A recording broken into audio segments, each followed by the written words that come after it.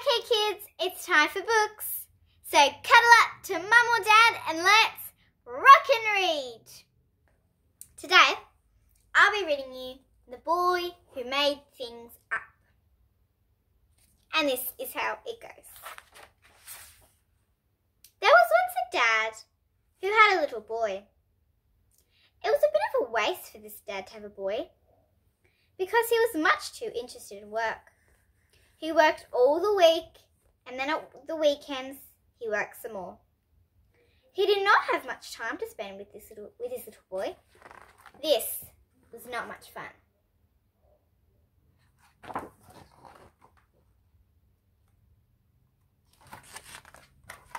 With no dad to tell him exciting stories, the boy had to make up his own stories.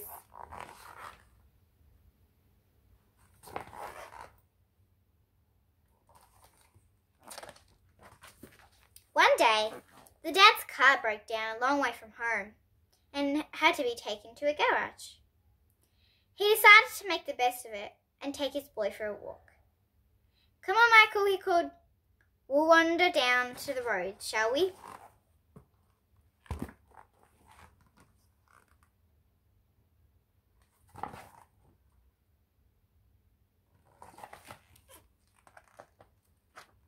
Michael was delighted to go for a walk with his dad. He marched cheerfully on, along beside him. After a while, he said, Shall we just walk along, Dad? Or shall we make some of it up? Make some of it up, said the puzzled dad. Oh well, whatever you like, Michael.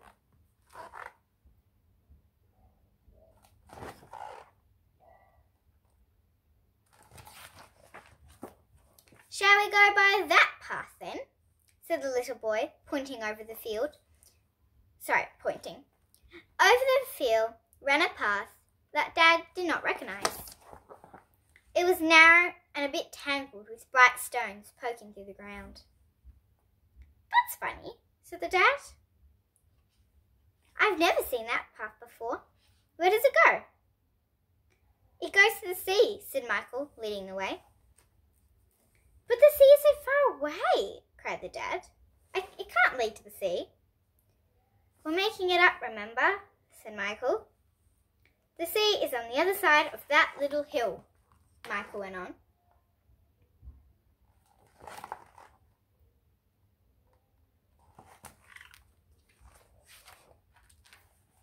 A soft murmuring filled the air as if giants were breathing quietly in their sleep. The dad and Michael hurried up the little hill. There on the other side was the sea. The sand stretched a long way, starred with shells and seaweed. There was no one else on the long sunny shore. There weren't even any seagulls, just the sand with the sea dancing along its edge.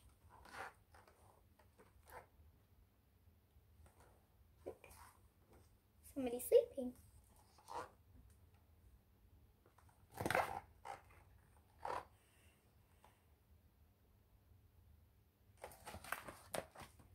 I told you, I told you, yelled Michael and charged onto the beach. If I'd known we were coming here, his dad said, trying hard to make his voice sound ordinary, I'd have bought buckets and spades. There are buckets and spades over by that log, Michael told him, and our swimming trunks.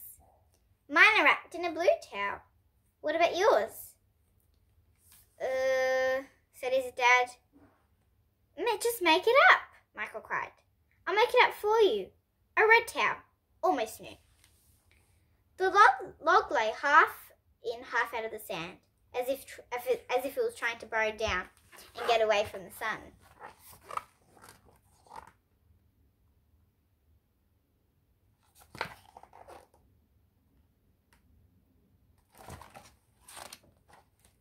Swim first, decided Michael. It's a bit cold. Let's make it a warm day. Immediately, the sunshine grew hotter. The dad stood fanning at his towel. I'm ready, Michael said, dancing before him. You're so, Dad. Last one in is nothing but a sand flea. He sped, running and jumping into the waves. The sand flea Dad followed. Be careful, he shouted. I haven't done much swimming for a few years.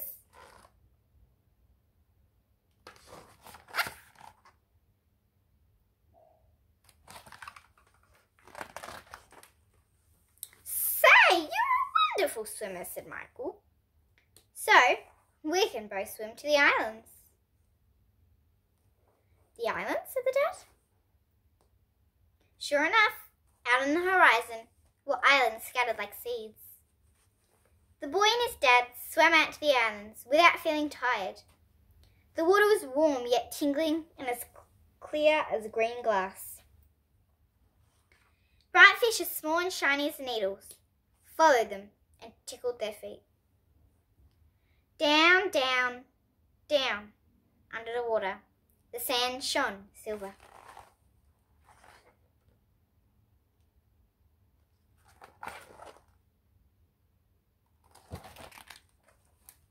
The boy and his dad swam in and out among the islands.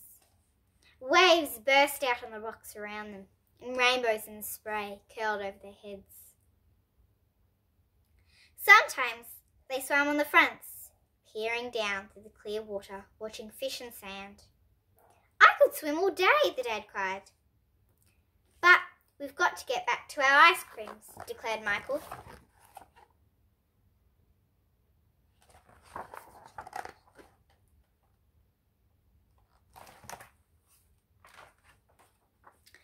So they swam back to the empty beach, still quiet except for the sighing, breathing, sea. Where will we get ice creams? asked the dad. There are no shops. Can't you understand how things work yet?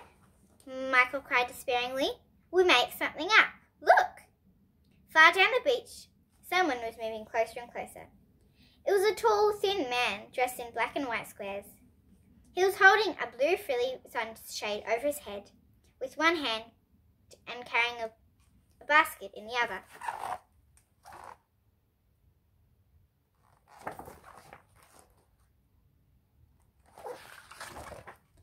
As he passed them, he put the basket into Michael's hands. Then he turned his bicycle and rode straight into the sea. For a few minutes, his blue sunshade bobbed above the water and then a green wave curled slowly over it, like a curtain coming down at a theatre. The basket was full of ice cream with nuts in it, and strawberries on top. The dad looked very thoughtful.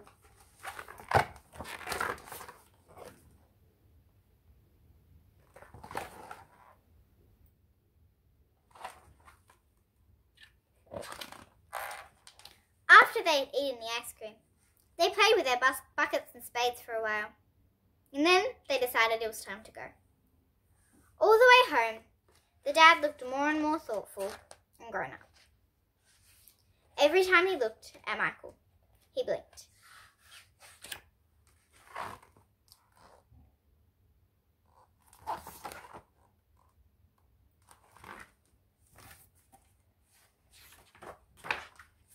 As soon as they got home, Michael was sent to wash his hands. His dad, his dad stood beside his mum, drying up the dis- dishes she was washing. Tell me, my dear, he said in a quiet, nervous voice. Does Michael often make things up? Oh, yes, said his mum. He's always making up, said Rachel. He's very good at it. But, said the dad in a very astonished voice, he took me to the beach. We went swimming. I got sunburnt. My shoes are full of sand. And yet, I know the sun is very far away. Oh, yes, said the mum. I tried to tell you before, but you're too working.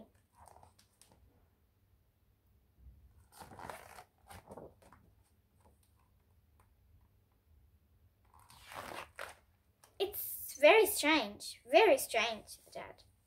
But lots of fun, the mum added. Yes, I suppose it is. Uh, yes, I suppose it is, said the dad. He thought some more. I don't think I'll spend so much time working from now on. A dad and son should see a lot of each other, don't you think? he asked. Oh, yes, I'm sure they should, said the mum, and she smiled. A smile that was almost a grin at the saucer she was washing.